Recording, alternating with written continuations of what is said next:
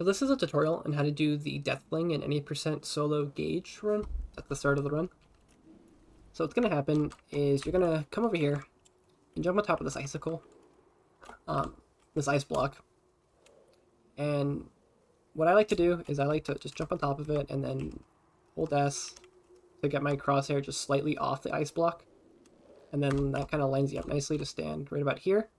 And then I line up my left crosshair with the bottom part of this barrel here, just the edge of it.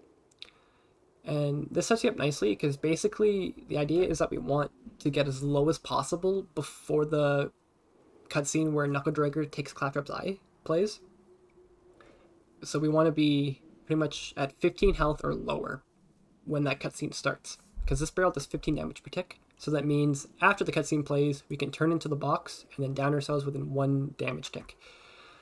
So you come to about here, and then you just like tap A to get on top of the barrel, and then take a little bit of damage until you're at 15 or lower, and then tap D to get back off of it. If you're just starting out on the run, just get kind of low, get to like 45 health or something like that. It's not a big deal. It'll cost you like a second if you're not at 15 health. Um, once you get higher up, and better at this trick, then you can go for the one tick damage. So then yeah, once you're here at uh, low health, the cutscene will play, you'll turn into the box, and then as soon as you turn in, you know, you're spending E and enter, and then you go on top of the barrel. Now from here, you just back up, and we want to fall off the ice block. Um, some people seem to have issues falling off the ice block um, without going all the way to the edge here, to the bottom edge. Um, and I found what helps is you just go halfway, just go straight back halfway, and then let go of S and hold D, and you can fall off the side there like that. Um, sometimes it might not work. You might have to back up farther. It's a little bit finicky. But then once you're off the ice block, you want to wedge yourself in the corner. Just hold W, go as far forward into the corner as you can. And then you want to put aim your crosshair on the left side of this icicle.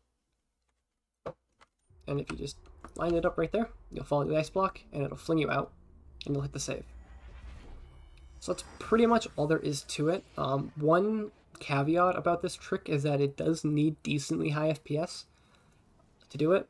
Anything at above about 100 will be fine, and higher FPSs will just mean you'll get flung faster.